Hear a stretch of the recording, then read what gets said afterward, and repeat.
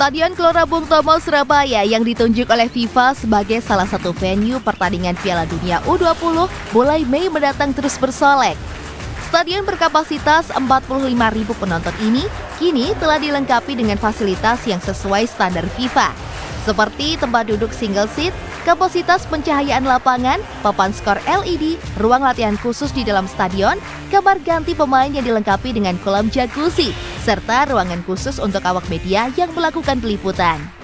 Stadion GBT juga telah dilengkapi pagar pengaman yang mengelilingi area lapangan, serta kamera CCTV yang dipasang di sejumlah titik untuk memantau kondisi. Pembenahan di area stadion masih terus dilakukan.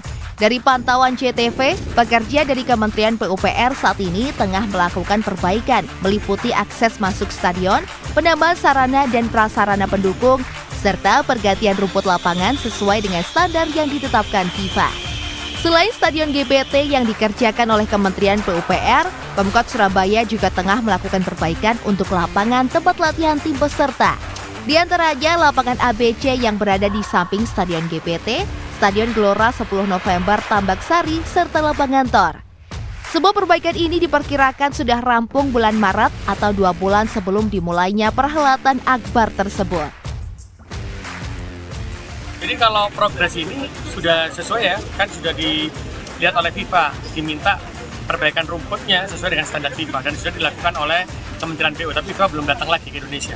Karena nanti toh kalau melihat rumput bukan hanya di stadion GBT, tapi semua stadion di Indonesia itu rumputnya KB ini. Jadi lagi mungkin akan dirubah lah. Ya, infrastruktur pendukung Pak untuk kegiatan. Kalau infrastruktur pendukungnya untuk tempat parkir, terus jalan akses menuju GBT dua sisi sudah kita siapkan semuanya kemarin sudah diuji coba pada waktu Piala FF kemarin. Pemkot Surabaya juga menyiapkan kejutan dalam penyambutan tim peserta dan supporter yang akan bermain di Surabaya. Hal ini dilakukan sebagai upaya menjadi tuan rumah yang baik terhadap tamu dari 23 negara peserta. Nada Adrianta, CTV.